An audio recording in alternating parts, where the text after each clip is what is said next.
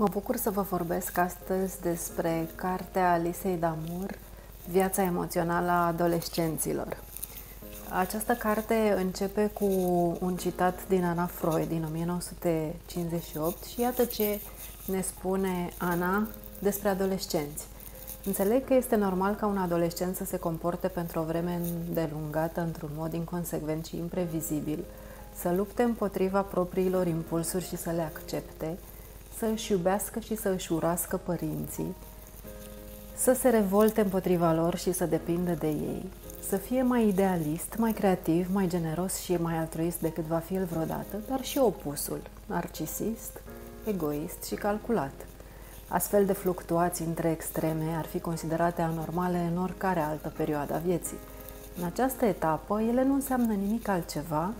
decât că este nevoie de timp ca să se formeze o structură de personalitate adultă. Lisa Damur vine în sprijinul tuturor părinților și o pot spune și eu, atât în calitate de specialist, cât mai ales în calitate de mamă de adolescent, cu explicații teoretice și îndrumări practice despre cum să creștem tineri capabili să comunice deschis, cum să înțelegem și să susținem mai bine procesele de dezvoltare din perioada adolescenței copiilor noștri și mai ales ce să nu facem dacă ne dorim să avem relații uh, bune și să îi uh, susținem în procesul lor de devenire către vârsta adultă și perioadele de autonomie personală. Uh, foarte mare parte din, uh, din această carte pune accentul pe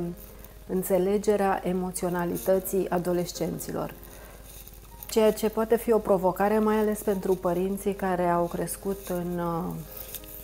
vremuri în care nimeni nu punea preț pe emoțiile lor. Suntem tentați de foarte multe ori ca părinți să ținem prelegeri copiilor noștri și mai ales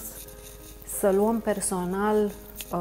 atitudinile extreme și ostilitatea adolescenților noștri și Lisa Adamur în această carte ne încurajează cum să ascultăm mai mult,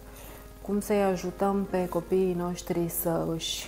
canalizeze, să își reformuleze și să își înțeleagă emoțiile și să se lase ghidați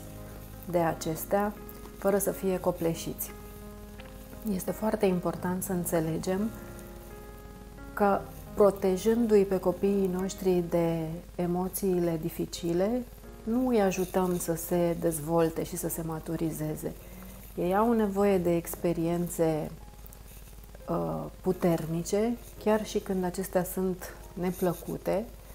pentru a se putea dezvolta și pentru a dezvolta rezistență în fața adversităților vieții.